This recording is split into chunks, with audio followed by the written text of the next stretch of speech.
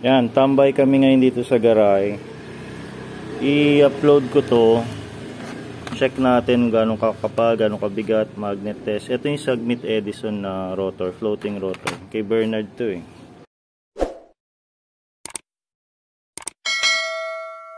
Dito niya kakabit sa Kisto Extreme. Stock pa kasi yung rotor nyo. Palitan natin niya mamaya. Marami na siya napalitan dyan eh. So wait lang, check natin yung ganong kakapal, ganong kabigat, magnet test, ganong kalaki. Pero 160 lang yan eh. Anyway, compare natin doon sa stock mamaya.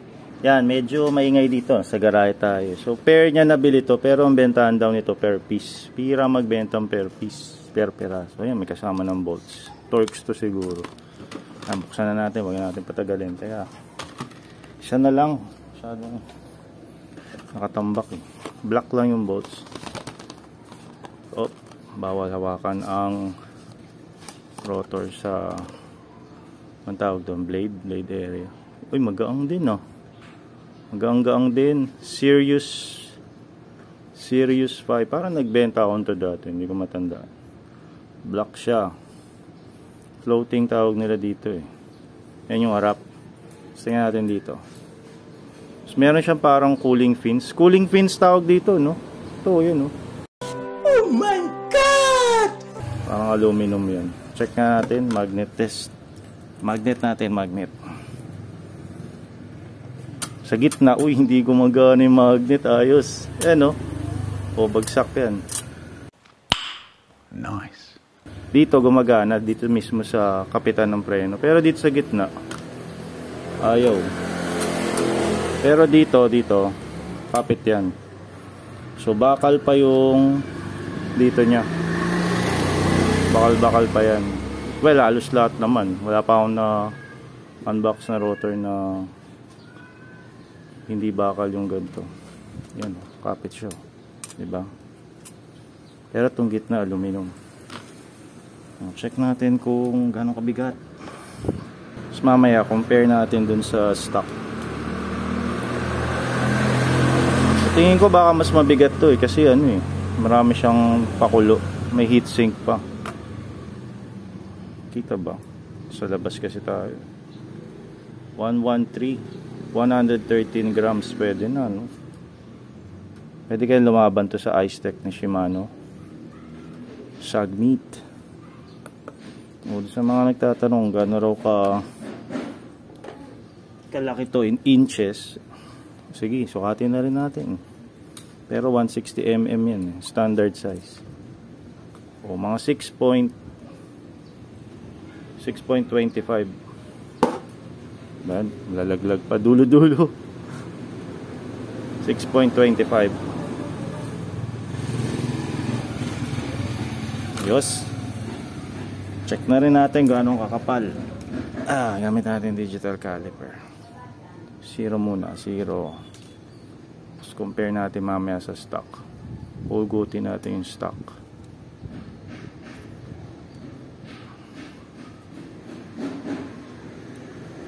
Hirap ah. Hirap matesting mga sirs. Wait lang ah. 1.9 yan.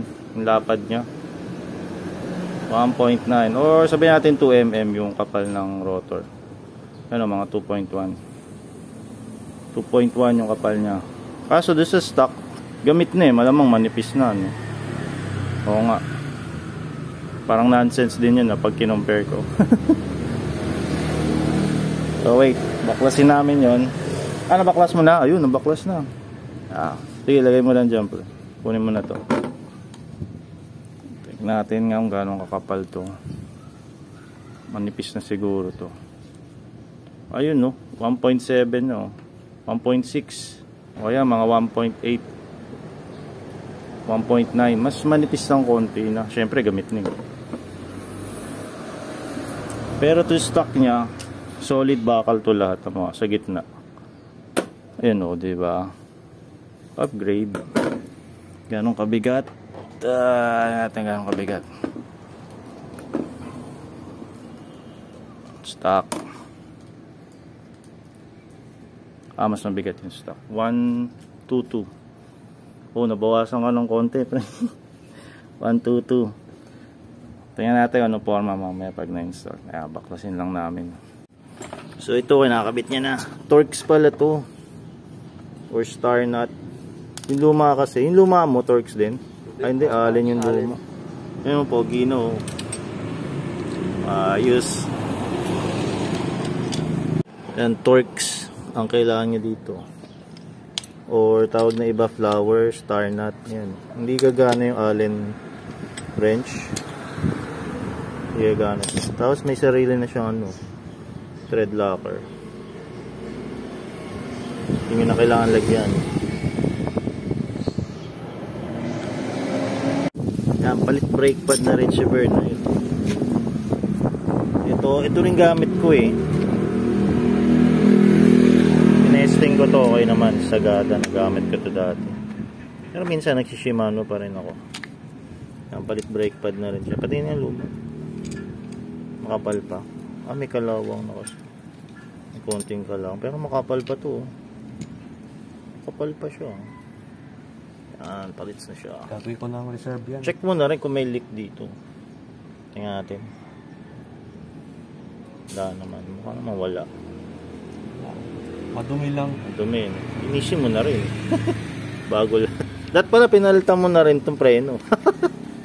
Boom preno. Yan, install na yung rotor. oh.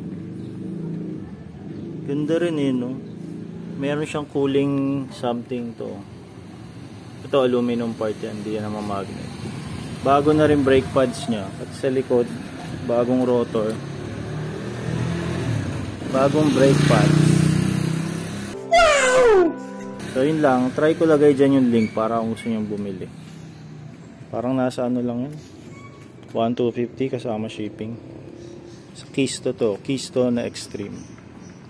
Yan lang muna, gabi na eh.